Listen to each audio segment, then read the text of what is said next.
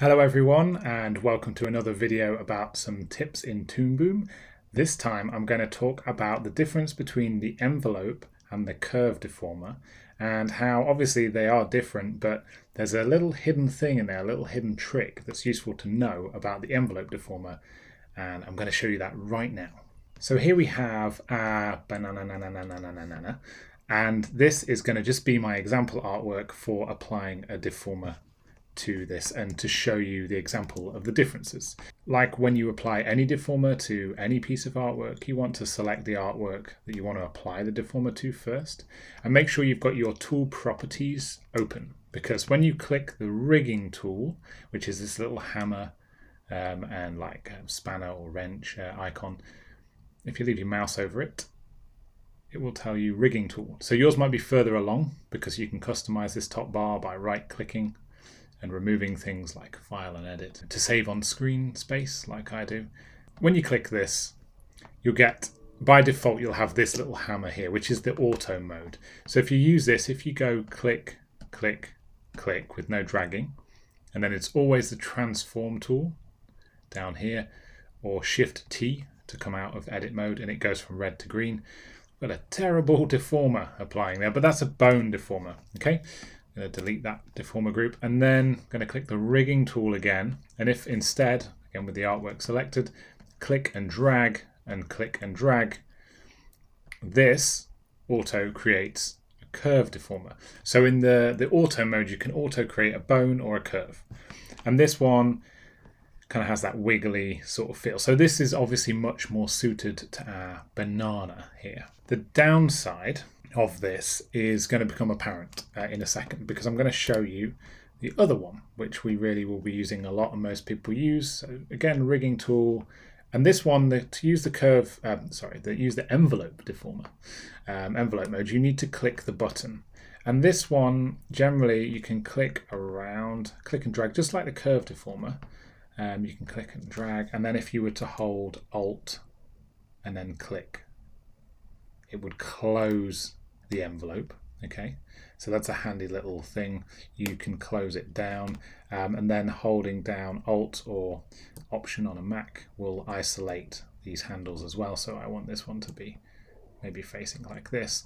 Um, bit of an experimental setup there, but uh, you'll basically be able to kind of manipulate things and move them around like it's got a, an envelope around the shape. But if I click the drawing and then click the rigging tool again, still in envelope mode.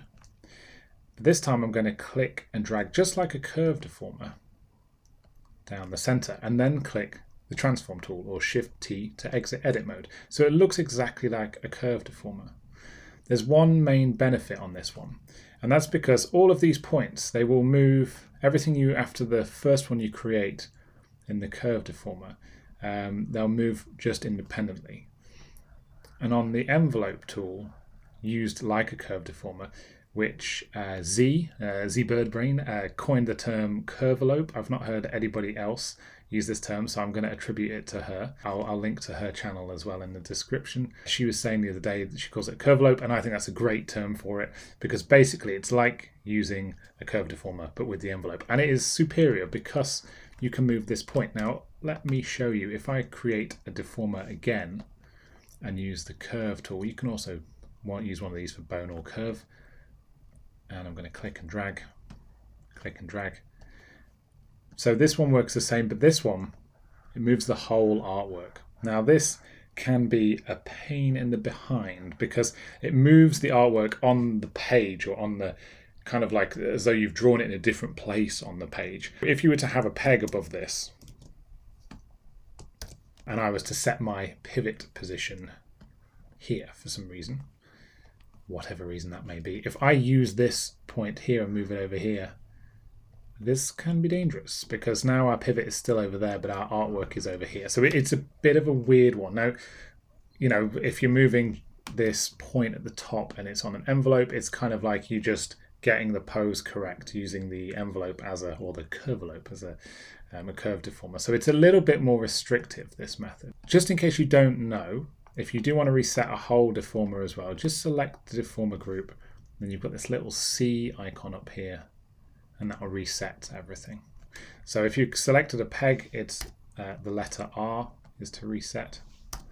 And to reset a deformer, you have to have the deformer group selected. So you can you can click on the drawing and press B to move up the chain, which gives you what I call an invisible selection.